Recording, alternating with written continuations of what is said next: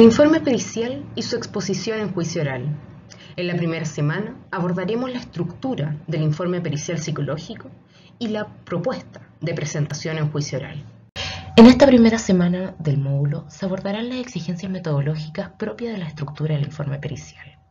Vale decir, se buscará indicar aquellos aspectos que se contemplan en las distintas partes del informe.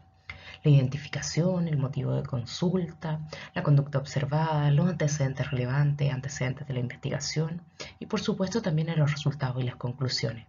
La idea es no solo adquirir un reflexiones respecto de cómo pudiese ser un formato, el contenido, sino también la importancia de reflexionar e incorporar en nuestro análisis una perspectiva de género.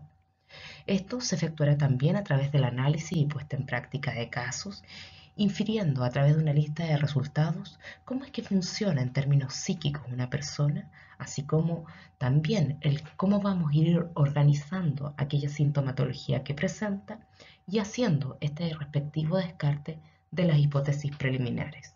Igualmente, trabajaremos acerca de una propuesta de presentación de juicio oral, contemplando no solo los requisitos metodológicos y la estructura de las audiencias, sino también en esta importancia en dejar claros los aspectos centrales de nuestras evaluaciones, aquellas cosas que resulten más relevantes para este caso en particular, y además teniendo en cuenta que existirán otros aspectos de los cuales vamos a tener que explayarnos en mayor medida en las siguientes etapas de una exposición de juicio oral. Ejemplo de aplicación. Las agresiones sexuales no ocurren de forma igualitaria a varones y a mujeres, ni necesariamente se sustentan en aspectos similares. Es por ello que resulta fundamental incorporar en nuestros dictámenes un análisis de la información con perspectiva de género, evidenciando así las posibles inequidades y prácticas abusivas sustentadas en un modelo hegemónico. Autoevaluación del aprendido.